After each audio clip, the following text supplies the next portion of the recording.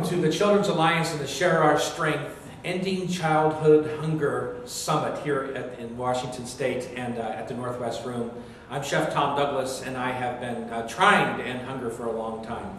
Uh, I like to tell people that I get paid to feed people, whether they can afford it or not. And uh, sometimes they can, thank the Lord, and sometimes they can't. And that's where uh, I jump in, and lots of my fellow chefs jump in.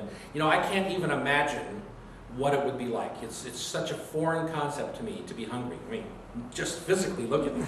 but, but it's such a foreign concept. Uh, every morning, the highlight of my day is to get up and wake up my kid and get her to the table and to make an omelet or a burrito or a quesadilla or I even make her pot stickers in the morning, just seared on the outside, crispy and delicious because it's so important to me that she has a great meal when she leaves the house. Not just nutritious, but delicious. And that's what uh, my role in this is to make nutritious delicious.